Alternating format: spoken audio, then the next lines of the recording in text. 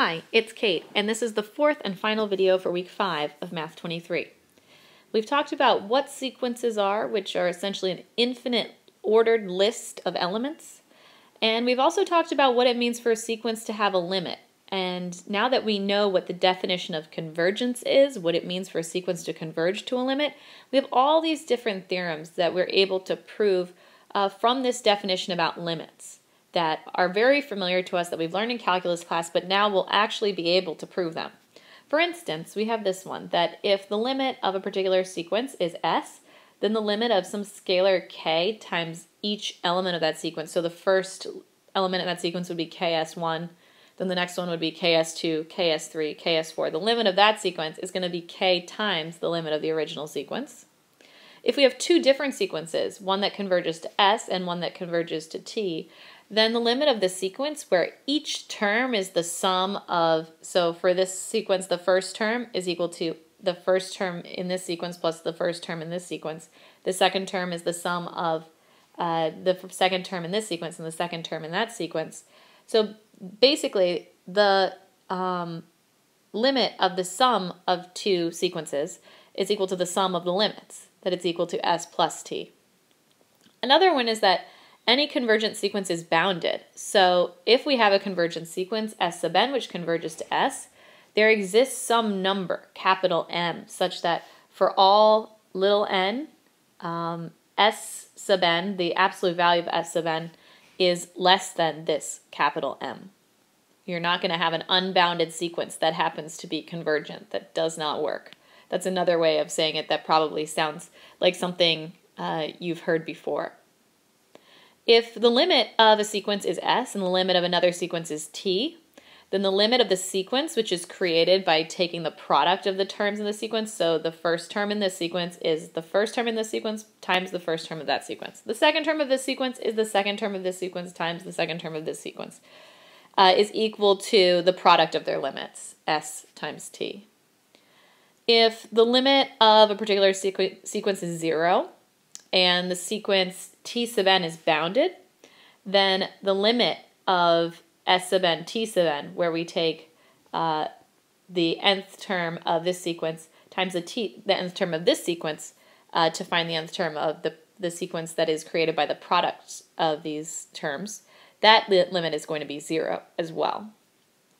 If uh, s sub n is not equal to 0 for all n, and s is the limit of s sub n, and it's also not equal to 0, then the infimum of the absolute value of s sub n, or the greatest lower bound.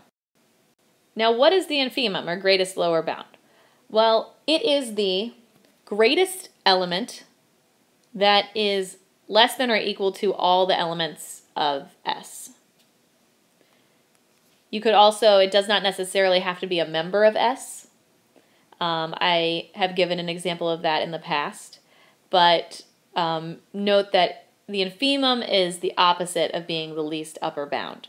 So this is the greatest lower bound of the absolute value of the elements of the sequence is greater than 0, and 1 over s sub n converges to 1 over s. And using limit theorems is a really effective way to figure out all of these possible theorems, prove them pretty straightforward. In the past, you've just memorized them straight out of a calculus book and never really talked about convergence in a serious way or why this might work. Several of them seem very intuitive, but it's important that you understand the analysis behind why this is happening. Um, the limit theorems are a much more efficient way to find the limit of a sequence than doing a brute force calculation of uh, what the index should be for some given value of epsilon. And Ross has some great examples. We also talk about this symbol, plus infinity. It has a precise meaning when uh, we use it to talk about limits. So when we say that the sequence S of n diverges to plus infinity, well, that's positive infinity. What we mean there is if for all um, m greater than 0, there exists some index n such that for all little n, all the indices past that big N uh, those elements are going to be greater than m. So that means no matter how big of a number you give me, like a million, a billion, a trillion, a quadrillion, you can give me, there exists some index number such that all the elements in the sequence past that index number are greater than a quadrillion. Similarly, we say that uh, there's the sequence diverges to negative infinity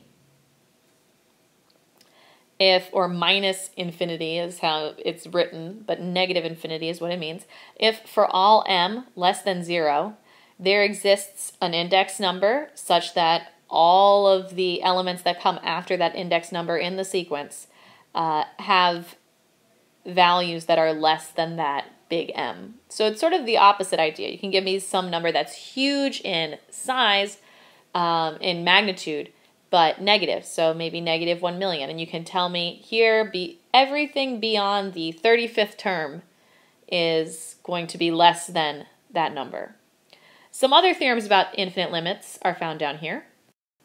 We note that if a sequence has a limit of positive infinity and another sequence has a limit that's greater than zero, it could also be positive infinity, then the limit of the sequence taken by taking uh, each term in these sequences and multiplying them together is going to be, the limit of that sequence is going to be positive infinity as well.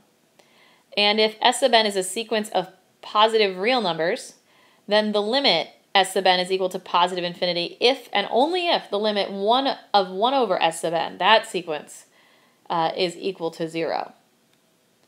And if the limit of s sub n is equal to positive infinity, then the limit of s sub n plus t sub n equals positive infinity if t sub n has any of the following properties as a sequence itself. So if the limit of the, the t sequence is greater than negative infinity, if t sub n, that sequence is bounded but does not necessarily converge. It could be something like that cosine sequence that we saw on the previous page. Or if the infimum, remember the greatest lower bound, uh, is greater than negative infinity. But doesn't matter if t sub n is bounded above for this particular result. So we'll talk a little bit more about proving these limit theorems in the sample problems as well as the section problems and on your homework. But that's it for week five and our start of univariate real analysis.